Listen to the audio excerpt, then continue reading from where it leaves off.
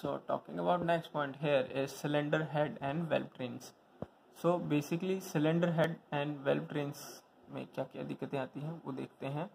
so complete combustion chamber basically अगर cylinder head और valve है तो वो कंप्लीट कंबशन चैम्बर बना देती है